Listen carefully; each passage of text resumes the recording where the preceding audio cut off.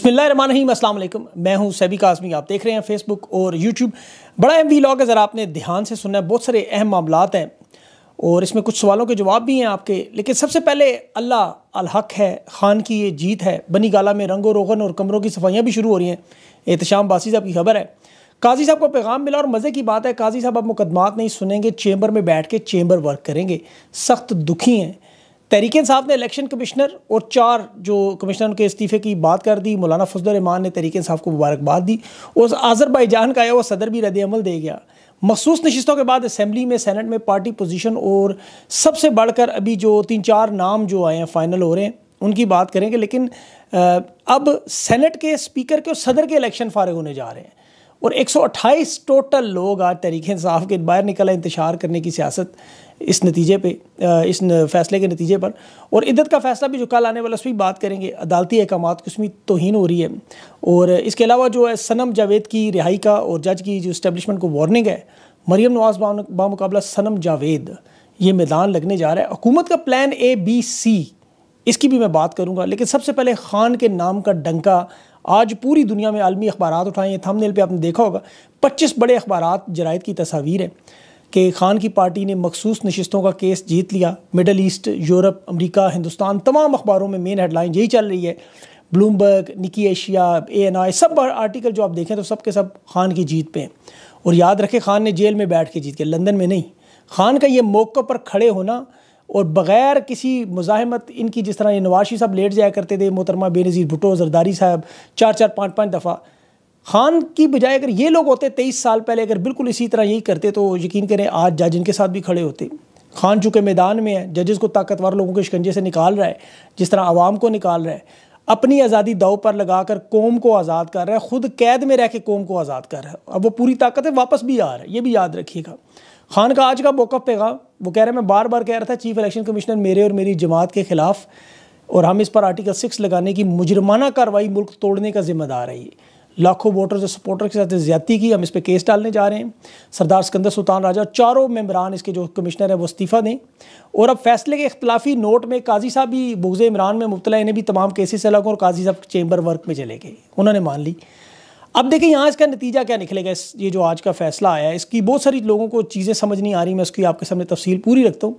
یہ پہلا فیصلہ ہے تحریک انصاف کے بعد۔ یہ ستر نشستیں، اٹھتر نشستیں جو قومی صوبائی کی ہیں۔ دوسرا فیصلہ مینڈیٹ کی واپسی کا جو ڈیڑھ سو نشستوں پر مشتمل ہے، جو قومی اور صوبائی کی تقریباً چھتالیس فیصد تحریک انصاف کے پاس براہ راست آئیں گی۔ تو اس اعتبار سے تحریک انصاف عددی اعتبار سے دو تہائی اکثریت لے سکتی ہے۔ اور پھر ان ہاؤس تبدیلی میں اقتدار تحریک انصاف کی طرف منتقل ہو جائے گا۔ اور یہ تیس ستمبر سے پہلے ہوگا۔ یہ میری بات یاد رکھیے گا۔ کیونکہ میں نے بھی آپ کو پہلے بتایا کہ خان کی رہائی ہے اور اس میں سب سے بڑا اچھا اہم معاملہ آصف زرداری کا الیکشن، وہ سب سے زیادہ مجھے خطرے میں نظر آ رہا ہے۔ کے پی میں جو انہوں نے سینٹ کا الیکشن نہیں کروایا، وہ بھی ایک الگ معاملہ ہوگا۔ اور اگر یہ دونوں الیکشن پھنس گئے تو اسپیکر ویسے ہی فارغ ہو جانا ہے۔ کیونکہ قانون ہے کہ مخصوص نشستیں ملیں تو الیکشن دوبارہ ہے کیونکہ ان لوگوں نے تو ووٹ نہیں ڈالا کسی کو بھی۔ تو اس لیے یہ الگ سے ان کے گلے میں پھنس جائے گا، میرا مطلب پھندا۔ اب خان کے مطالبات یہ پورے کرنے پر مجبور ہوں گے۔ مینڈیٹ کی واپسی جو خان کا سب سے بڑا مطالبہ ہے، یہ پورا کرنے کے بعد خان کے کیسز بھی، جن میں کچھ بھی نہیں ہے، سیاسی بنیادوں پہ بنے کیس ہیں، پانی کے بلبلے کی طرح وہ بھی ختم ہوگی یہ جو فارم فورٹی فائیو کا مینڈیٹ خان کا واپس آئے گا، خان کی انشاءاللہ رہائی تیس ستمبر سے پہلے یہ سارے معاملات ہو گئے۔ اب ان کے پاس وقت اتنا ہی رہ گیا۔ اب اس کا یہ کاؤنٹر بنانے کی فی الحال جو کوشش کریں گے اس بیانیے کو توڑنے کی تو اسٹیبلشمنٹ اور طاقتور لوگ پہلے تو یہ خبریں پھیلا رہے ہیں، آپ کو پتہ ہے کہ جی سپریم کورٹ کا فیصلہ ان کی مرضی سے ہوا۔ کچھ لوگ ان کے آپ کو بتاتے رہیں گے جی دیکھیں گمنام مجاہد آگے، خان واپس آئے گا، ہم خان کی مدد کریں گے۔ یہ ساری اسی سلسلے کی کڑی ہے، بالکل جھوٹ اور فراڈ ہے۔ ٹرک کی لال بتی ہے۔ یہ وہی لوگ ہیں جو الیکشن کے دنوں میں آپ کو کہتے تھے تحریک انصاف کا ایک امیدوار بھی نہیں ملے گا۔ دوربین لے کر ڈھونڈیں گے نہیں ملے گا۔ سارے توڑ کے ادھر ادھر ڈال لیں گے۔ یہ راوی صاحب چین چین کرتے تھے، آج بے چین نظر آ رہے تھے۔ اور پلان اے بی اور سی کی باتیں کرتے میں آپ کو ان کا بھی پلان بی اور سی بھی بتاتا ہوں۔ یہ کیا کرنا چاہ رہے تھے اور کیا سوچتے تھے؟ قاضی صاحب نے جو تحریک انصاف کے جو اکتالیس ممبران، جو پی ٹی آئی کے امیدواروں کی لسٹ آپ کو پتہ جاری کی، جس لوگوں نے الیکشن میں اپنے کاغذات جمع کراتے ہوئے لکھا کہ ہم پی ٹی آئی کے امیدوار ہیں۔ انہیں الگ کیا اور انتالیس امیدوار جو اپنے آپ کو آزاد کہہ رہے تھے انہیں الگ کیا۔ قاضی صاحب کی یہ واردات تھی کہ تحریک انصاف کو اس نسبت سے ہم چار پانچ نشستیں دے کے معاملہ ہی فارغ کر دیں۔ سنی تعداد کو ہم نے دینی نہیں، لیکن یہ دال گلی نہیں۔ یہ ان کا پلان بھی تھا۔ اب سی میں آپ کو بتاتا ہوں وہ بھی بری طرح فلاپ ہوگا۔ اور یہ آپ کو سمجھنا ہوگا سارا معاملہ کیا کیوں جا رہا ہے؟ اصل مقصد یہ دو تہائی اکثریت کیوں لینا چاہتے تھے؟ تاکہ آئینی ترمیم کریں۔ یا آرٹیکل سکس الیکشن کے معاملات آرٹیکل اکیاون، یہ سارے معاملات ٹریبیونل میں ججز یہ ساری ترمیم اسی لیے کی جاتی ہیں کہ معاملات کو کنٹرول میں رکھا جائے تاکہ پانچ سال حکومت چلا سکیں۔ اصل مقصد میں حکومت میں آنے کا یہی ہے کہ دو تہائی اکثری ہو تو اسی لیے نواز شریف نے لی نہیں کہ وہ دو تہائی ملی نہیں اس کو۔ اب ان کے صافی فارورڈ بلاک کی خبریں جو پھیلا رہے ہیں کہ طریقے انصاف کے کچھ لوگوں کو توڑ کے فارورڈ بلاک بنا لیں گے طریقے انصاف کو عددی نمبروں میں وہیں لے جائے، یہ ممکن نہیں ہے۔ کیونکہ نظریہ عمران اب نظریہ پاکستان لوگوں کو پتہ ہے جس نے خان کو چھوڑا اس کی سیاسی بنیادیں ختم ہو جائیں گی۔ وہ دوبارہ سیاسی منظر پہ آپ کو نظر نہیں آئے گا، چاہے وہ کوئی بھی ہو۔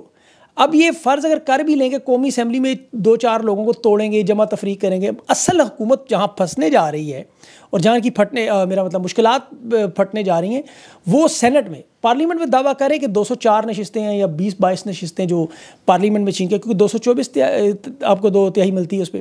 اب بیس بیس بندے اگر وہاں سے لے بھی ہیں، سینٹ میں کیا کریں گے؟ سینٹ میں چون لوگ ہیں ان کے وہاں۔ اور وہاں فضل الرحمان صاحب ہیں، ان سے ووٹ لینے کے لیے ناممکن ہے۔ فضل الرحمان صاحب آج سپریم کورٹ کے فیصلے کا خیر مقدم کر کے تحریک انصاف کو مبارک دے رہے ہیں۔ کہہ رہا ہے بالکل درست فیصلہ، حالانکہ ان کی اپنی نشستیں چلی گی اس معاملے ذرا غور سے سنیں۔ احمد ولی، اس کی ذرا تقریر اٹھا کے سن لیں۔ اور پھر سینٹ میں انہیں وہاں پہ چودہ سے سولہ لوگ وہاں چاہیے۔ اب دونوں ایوانوں سے تیس پینتیس لوگ اکٹھے کرنا فی الحال ناممکن ہے۔ اور خیبر پختونخوا کو نہ بولے، سینٹ کے الیکشن ابھی وہاں ہوئے نہیں۔ وہاں کے ستائیس لوگ جب سینٹ میں آئیں گے، کیونکہ یہ معاملہ اٹھنے لگے سینٹ کے چیئرمین، اور سوری، سینٹ کے خیبر پختونخوا کے جو الیکشن ہے وہ کیوں نہیں ہوئے؟ الیکشن ہونے ہیں، آصف زرداری کی صدارت پھنس جانی ہے۔ اور اوپر سے سنی اتحاد اور ایم ڈبلیو ایم کے ساتھ ملی ہوئے تو تحریک انصاف سب سے بڑی جماعت بن جائے گی۔ اب یہ کتنے لوگوں کو توڑ سکتے ہیں؟ تیس کو لوگوں کو چالیس، یہ ناممکن ہے۔ دیکھ لیں، آٹھ فروری کے الیکشن کے بعد تحریک انصاف کے کتنے لوگ انہوں نے توڑے۔ وسیم قادر کے علاوہ۔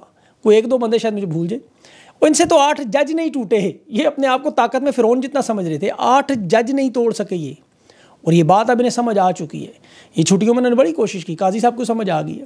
اور یہ جانتے ہیں، اور یہ لوگ جو نہیں ٹوٹ رہے، یہ بھی یاد رکھیں سب کا اپنا ذاتی مفاد بھی شامل ہے۔ سپریم کورٹ کے ججز کو پتا تھا، یہ قاضی سے اگر جان چھڑانی ہے آپ نے، تو طریقہ یہ ہے، ورنہ دو سال اس سر پہ بیٹھ جائے گا، وہ چھوڑے گی نہیں۔ وہ پہلے ہی آپ کو پتا نفسیاتی عذاب ہے۔ ان کی تعیناتی، پھر ایکسٹینشن پھر تقرریاں، پھر ان کی ترقیاں، یہ سارے کے سارے معاملات بڑھ جانے تھے۔ انہوں نے سٹینڈ اپنے لی لیا۔ انہوں لی کے لوگ جو بات کر رہے ہیں نا، راوی چین چین، کہ طاقتور لوگ جو چاہیں کروا سکتے ہیں اور وہ مثال دیتے ہیں، پاناما کے بعد باجوہ صاحب کی ایکسٹینشن کروانی تھی نواز شریف ملک سے باہر تھا۔ اس کے باوجود نون لیگ نے ووٹ دے دیا۔ تو بھائی، انہیں یاد کرائیں کہ وہ حالات اور تھے۔ نون لیگ کے حالات اور تھے۔ کہ نواز شریف صاحب بھاگ گئے تھے۔ اگر نواز شریف صاحب نہ بھاگتے، نون لیگ بھی نہ بھاگتی۔ تحریک انصاف یہاں موجود ہے، اس لیے کہ خان اڈیالہ میں موجود ہے، وہ نہیں بھاگا، اسی لیے اس کے بندے نہیں بھاگ رہے۔ ان لوگوں کے ساتھ میں نے کہا نوکریاں، تقرریاں، مدت ملازمت توسیع، ان کے ششکے مشقے سب کچھ، پارلیمنٹ کی نشستیں سب کچھ داؤ پہ لگا ہوا ہے۔ ان کے ایک جملہ خان کا ان کی مستقبل تباہ کر دیتا ہے۔ ایک جملہ خان کا۔ اسی لیے اپنی نوکری، اپنی مدت ملازمت پر، اپنی ریٹائرمنٹ پر، اپنے بیڈ روم میں کیمروں پر، اپنے بہنوئی، اپنے بھانجے، اپنے رشتہ داروں کے معاملات پر کھڑے ہوئے ہیں۔ یاد رکھیے گا یہ بات۔ اسی طرح سارے پارلیمنٹیرین بھی کھڑے ہوں گے۔ وہ اتفاق ہے، تحریک انصاف کے نظریے سے مل گیا۔ اب جو اگلا اہم معاملہ چیف الیکشن کمشنر اور چاروں صوبائی الیکشن کمشنر کے استعفے کا، اس کے بعد آرٹیکل سکس کا معاملہ شروع ہو جائے گا۔ قاضی صاحب نے تو دیکھیں قربانی کا بکرا چیف الیکشن کمشنر کو بنا دیا۔ وہ آپ میرا اور صابر شاکر بھائی کا ایک پوڈ کاسٹ دیکھیں، اس میں بڑی تفصیل سے ہم نے باتیں کی کہ قربانی کا بکرا کیسے بنایا جائے گا فیس سیونگ کیسے ہوگی۔ تو اس پہ یہ پہلا مرحلہ تو یہ بالکل کامیاب ہوگا جو ہم نے بات کی تھی۔ یہ نہیں کہ آپ کو بزرگ مہر ہیں۔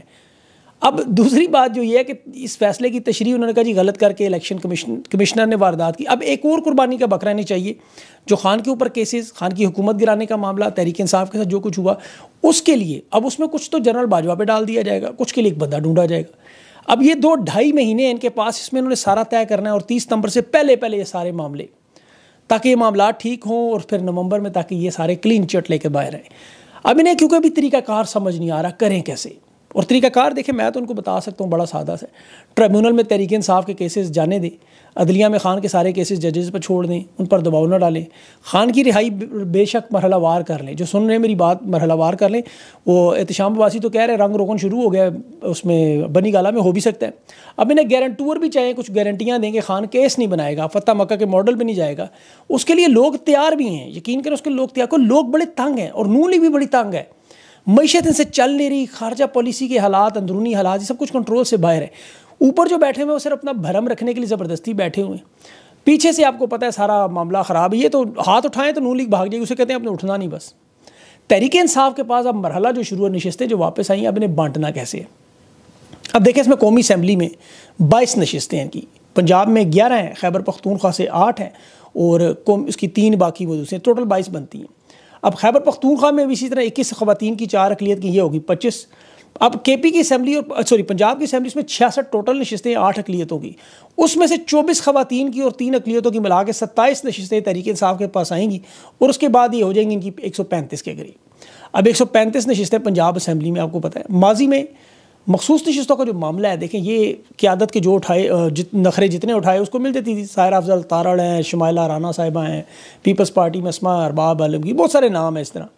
تحریک انصاف کو کرائٹیریا بنانا پڑے گا۔ قربانی ضرور دیکھیں، قربانی کی تو اس کے تک رجسٹر ہر رہنما کے پاس اب موجود ہے، جس میں پوری لمبی فہرست ہے۔ تو یہ بڑا مشکل ہو جائے گا قربانیوں کے حساب سے نشستوں کو بانٹنا۔ پھر فارم فورٹی فائیو کے کیسز بھی ٹرائمور میں لگے ہوئے لوگ وہ لوگ بھی جیت کر واپس آ سکتے ہیں۔ اور کچھ لیکن ایسے نام ہیں جنہیں اسمبلی میں آنا بڑا ضروری ہے۔ یہ سمبولک جسچر ہے نا علامتی طور پر۔ کہ یہ سیاست کے وہ نام بن چکے ہیں کہ اب ان کے ساتھ تحریک جڑی ہوئی ہے۔ خواتین کی، بچوں کی، مردوں کی، انہیں حوصلہ ملا۔ سر فہرست ریحانہ ڈار صاحب ہے اور ان کی وجہ دیکھیں، ان کی سچائی اور سادگی ہے۔ خواجہ آصف جیسے جو جمہوریت، منافقت والی کرتے ہیں، انہیں کھری اور سچی آواز اسمبلی میں بہت ضروری ہے۔ یہ میری بڑی خواہش ہے، یقین کریں، انہیں میں وہاں دیکھوں۔ اور دوسرا سرم جاوید کا مقابلہ مریم نواز سے پنجاب اسمبلی میں ہو۔ کیونکہ مریم نواز اپنے آپ کو ٹک ٹاک کی ملکہ سمجھتی ہیں سنم جاوید پنجاب اسمبلی میں آمنا سامنا ہو یہاں طیبہ راجہ بھی ہو سکتی ہیں، ان کی بھی اس طرح کی قربانیاں ہیں، وہ بھی پڑھی لکھی لڑکی ہے۔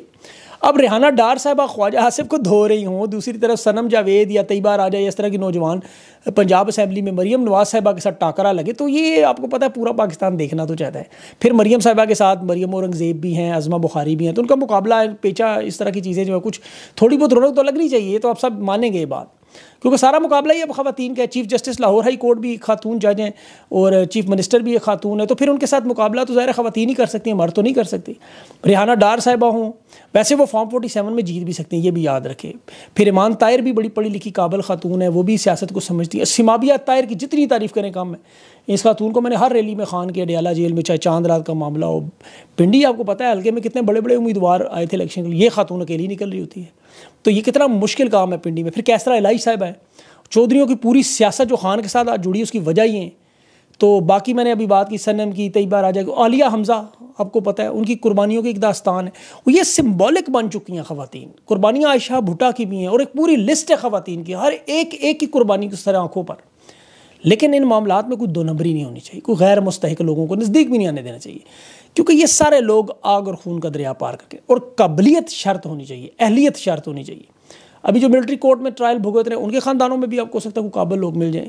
بہرحال یہ پارٹی کا اندرونی معاملہ، مجھے اس پہ زیادہ بولنا نہیں، ہم ہمیں سے کسی کو اس میں دخل اندازی نہیں کرنی چاہیے۔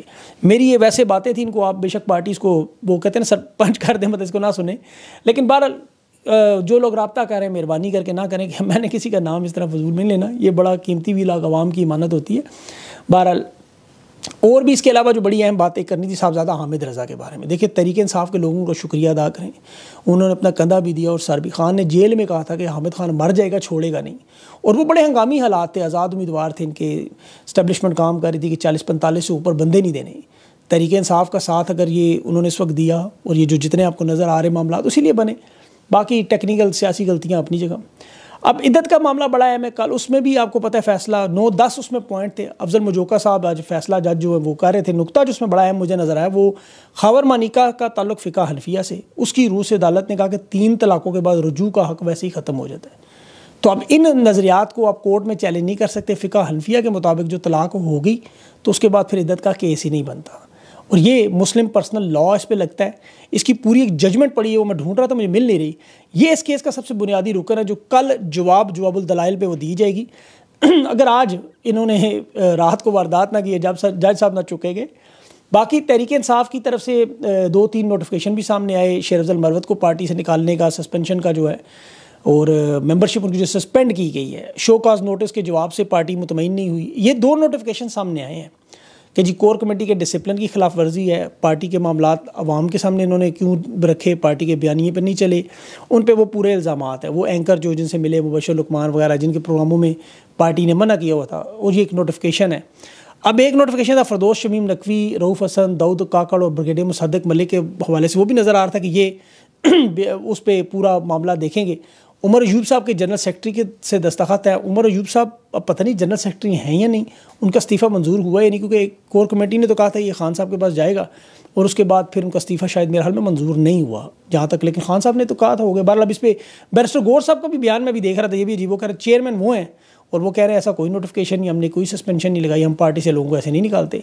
اور شیر افضل کی شاید سولہ جولائی کو ملاقات بھی ہے عمران خان سے، پہلے سے پلان تھی، اب اگر کینسل نہ ہوگی، وہاں اپنا موقف پیش کریں گے۔ اب بہرحال دیکھیں جو انہوں نے خان کے بارے میں بیانات دیے، جو موقف اختیار کیا، جو ان کی باتیں ان کے بقول سے آکوس باغ سے ہٹا ہٹ کر بیان کی الفاظ انہیں کے تھے، بول یہی رہے تھے پوزیشن ان کی۔ اگر وہی پوزیشن ہے تو یہ خود کلیئر کریں۔